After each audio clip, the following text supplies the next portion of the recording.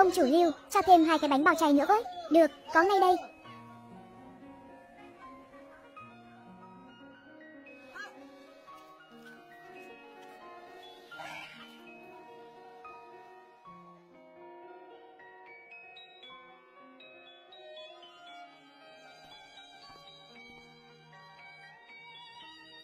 Một cái bánh bao sao đủ no.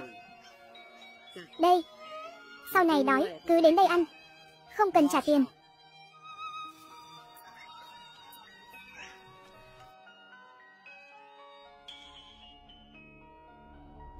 Ông chủ lưu, anh xem, anh nợ tiền thuê nhà của tôi, lâu quá rồi đấy, nếu hôm nay không trả được tiền thuê nhà, thì dọn đi nhé. Ây, bà chủ nhà, gia hạn cho tôi vài ngày nữa đi. Mấy ngày nữa tôi nhất định sẽ trả đủ tiền thuê nhà. Anh nói câu này bao nhiêu lần rồi? Anh xem, giá cả tăng thế kia. Mà anh vẫn bán thức ăn rẻ thế. Anh còn cho nhiều nữa, đã thế, còn cho người nghèo ăn miễn phí. Cô xem mấy cậu công nhân kia. Sao cứ hay ăn ở chỗ tôi? Bởi vì chỗ tôi rẻ hơn chút.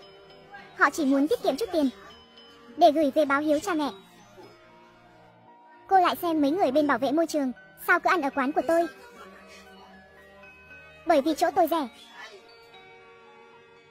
Cậu ấy còn phải chu cấp cho hai sinh viên nữa, tiết kiệm được chút nào.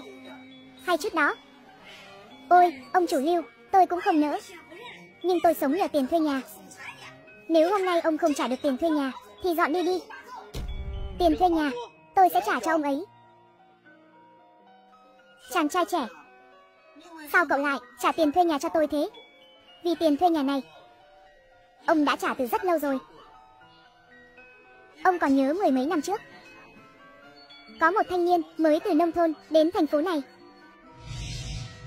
Vì chưa tìm được việc làm, nên đã ba ngày không ăn nổi bữa cơm. Khi cậu ấy đang tuyệt vọng, thì đi ngang qua một tiệm bánh bao. Cậu ấy dùng chút tiền còn lại, mua một cái bánh bao.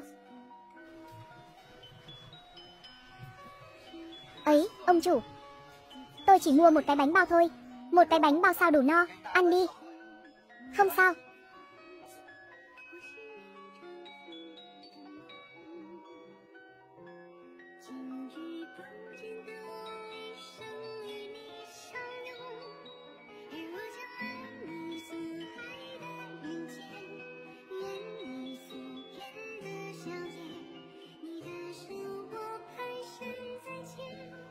Không cần đâu, tôi nghĩ bây giờ cậu cần số tiền này hơn.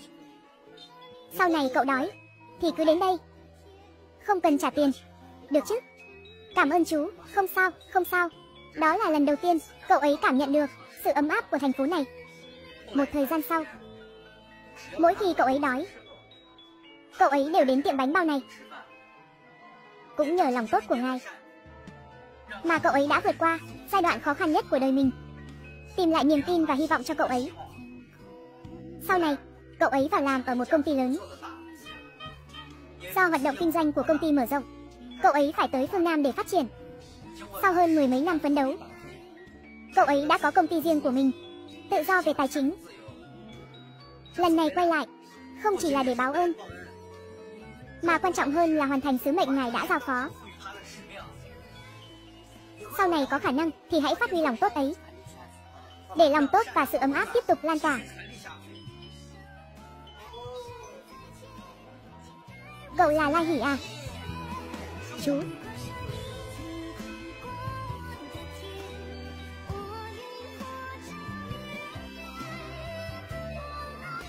Lòng tốt là một vòng luân hồi, nó sẽ dùng nhiều cách khác nhau để trở về bên bạn.